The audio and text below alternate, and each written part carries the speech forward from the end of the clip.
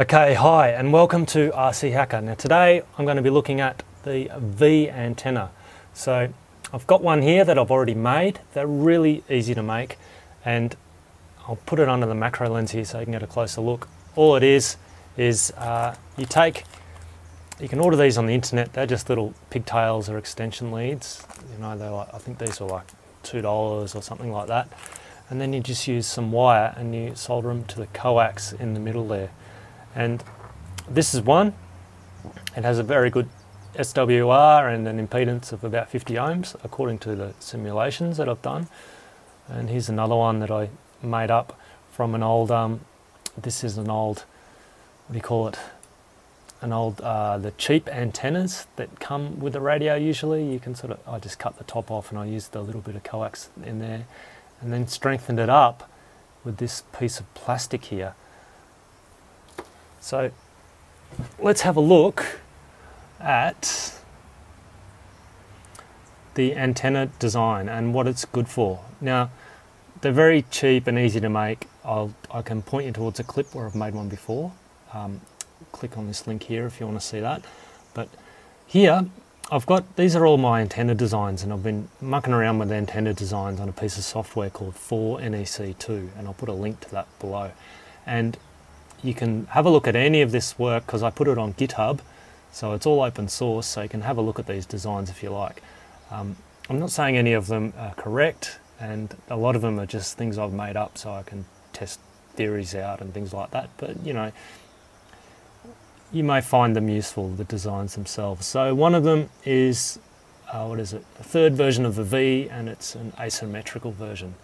So this version I'm doing is slightly asymmetrical, which means one side is longer than the other.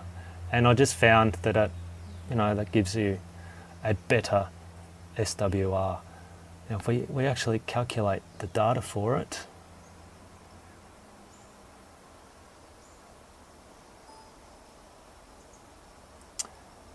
you can see the impedance here is is uh, 50, 59 negative 1.92. That's an imaginary number, but it's close, close enough to 50 ohms, and we get an SWR of 1.2 and 100% efficiency.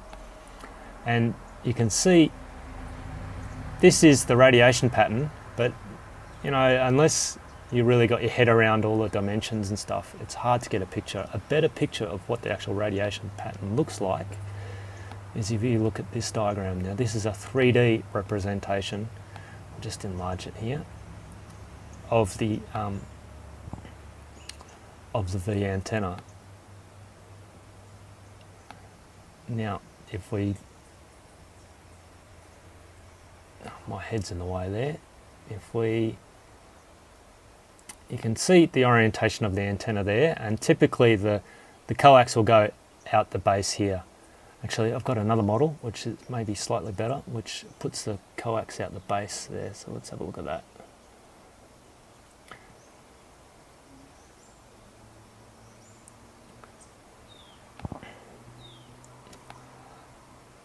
Yep.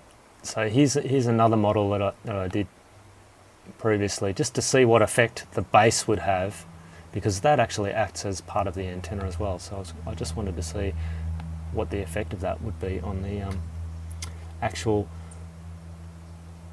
the actual uh, radiation pattern. So let's do the calculations on this one. So calculate our NEC output data, far field pattern, and generate. And then if we go to here, if we go multi-color pattern, that's our radiation pattern there. Now if we zoom out on that a bit, and then zoom in more, using this, it's really easy to visualize what the radiation pattern is like. So ideally, if you're mounting it on, on a plane or something like that, you would mount it like this with the, with the um, two antenna parts going up, up and down. So say it was like like a rudder or something, you would mount it that way, yeah? And the null points, where it's got the worst reception, are directly below, in this case, and directly above, depending how you want to fly. If you want to go altitude, you might orientate it another way. Um, if you've got a diversity system, what you can do, you can orientate it, two of them, so that they are at right angles to each other, and then you've got all your bases covered. So yeah, it's a really, really simple design and um, pretty simple radiation pattern. I'll show you the difference without that coax. It really doesn't make it make a lot of difference. So let's just close that. It's a plain old asymmetrical one.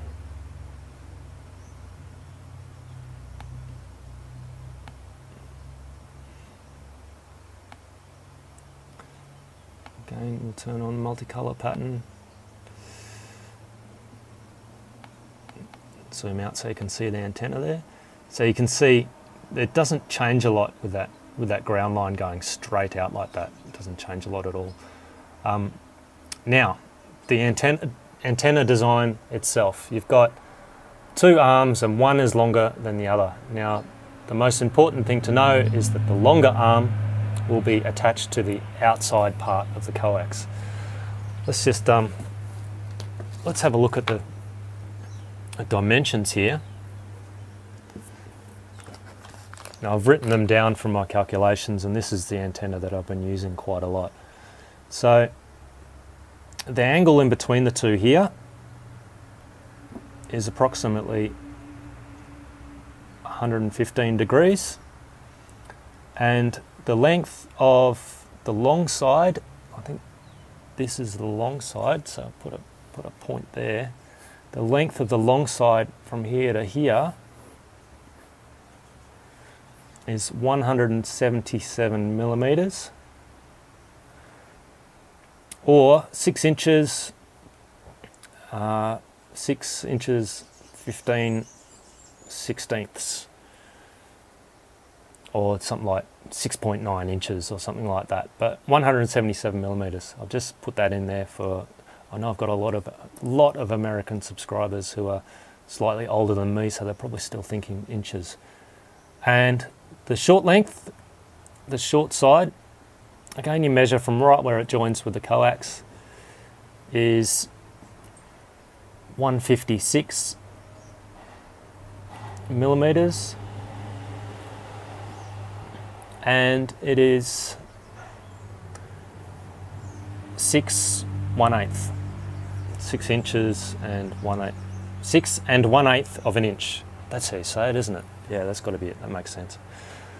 So um, there, there your two measurements, and it is pretty tolerant to errors and stuff. And, and this antenna is actually quite robust because I, I just use uh, oh, the copper here, by the, by, by the way, is about, it is about one millimeter diameter. I think this was a 0.9 and I put those into the calculations. I'm not sure what that is in AWG. I might just pop that up in a note below. Um, but that's about one millimeter solid copper wire, which I pulled out of an old vacuum cleaner. Um, so there you, there your dimensions and making it, like I said, I've got a link and you just cut your coax, peel back a bit of the outer part, solder it, and then solder the short side to the inner part of the coax and the long side to the outer part of the coax, and and then you cut them to length afterwards.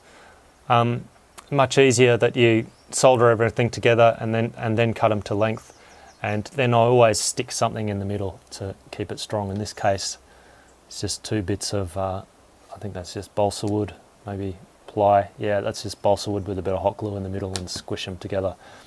It might change the performance of the antenna a bit, a bit, but you really need that strength there. And um, this one as well is just a bit of plastic. But periodically, if you are using these homemade ones, periodically you want to test them. So you want to you will want to um, get your multimeter and make sure that that center pin is still connected to one side and that the out, outer outer part is connected to the other side. Um, worth doing just so you don't know nothing, anything is broken in there. So, I, okay, for the uh, maybe just for the advanced people, this is my current version of a multi-rotor that I'm flying, a Nonacopter. Yes, it is a huge monstrosity, but it flies quite well. Um, I've got here a 2.4 gigahertz version of the uh, V antenna, and basically all I did was I got the existing um, coax antennas that come with the, with the FrSky Gear, and you can buy extra ones really cheap as well. And then I just peeled back a bit of the outer coax, and then cut these two to length here. So the inner part of the coax I didn't have to solder anything because I just stripped it back to that point, and then I just soldered an extra bit of wire to the outer part of the coax. Let's, let's just give you a closer look. Let's see if we can get a closer look in here. That's better. That's a, that's a closer look. Hopefully it's in focus. But one side, this side here is the inner part of the coax and the other side is the outer part and that's a very thin bit of copper wire.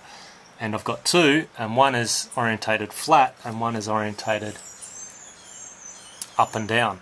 So you get, because this is a diversity diversity receiver here, it'll pick the antenna that's getting the best connection, the best signal. So as long as they're not the um, signal pattern is 90 degrees to each other, you'll get good reception. So yeah, that's the 2.4 gig version. All the other, all the antenna I've just showed you is for 433 megahertz. So that's probably you'll get good reception. So yeah, that's the 2.4 gig version. All the other, all the antenna I've just showed you is for 433 megahertz. So that's probably the biggest one you use. And then you've got the 2.4 small one, and I find that works quite well. Um, I'm just using the stock FrSky stuff, and it gives me a little bit of extra range. I hope that's cleared it up. That's the V antenna. Quite a simple design. Uh, keep in mind, all of this I've done from just simulations, so I haven't taken into the, into account the velocity factor or anything like that, but that is, in my opinion, that's small. It's quick, it's easy, and if you really want to go anal on it, because every, all the equipment's different and it uses slightly different frequencies and it frequency hops and things like that.